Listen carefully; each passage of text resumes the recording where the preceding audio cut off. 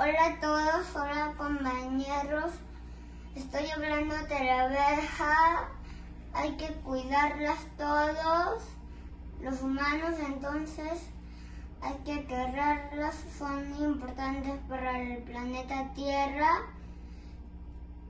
Entonces ya, sí, ya, ya, ya, ya, ya, ya.